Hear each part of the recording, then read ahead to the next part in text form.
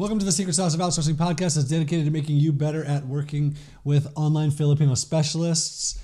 This is episode 145 Baybayin, the ancient script of the Philippines.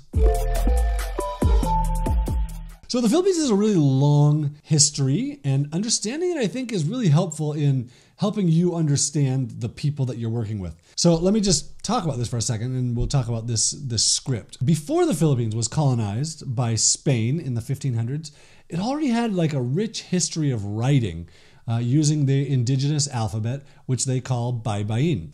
Now, Filipinos no longer use this this alphabet. Uh, Spain introduced the the English alphabet, the European alphabet, and the whole country has used that for hundreds of years now. But there's still there's a resurgence going on right now of this uh, Baybayin alphabet as part of a cultural preservation.